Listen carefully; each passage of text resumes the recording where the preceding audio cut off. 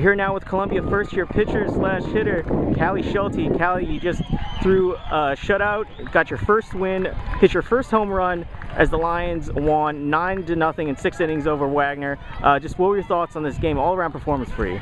Well, the game was amazing. It was such a team effort. I mean, I couldn't done it, couldn't have done it without them. And the home run felt amazing, and you know, getting a zero shutout from the other team is also just great. I guess, uh, you know, just uh, what, what, are your thoughts on this? Is Such a huge win. Uh, what, what, do you think about moving forward? Does this build momentum for the team? This, um, I mean, it set the bar. We have to go just straight up from here, and I think anything we do from here, we'll just remember this game and remember, remember today and just keep going forward. Awesome. Thanks, Kalli.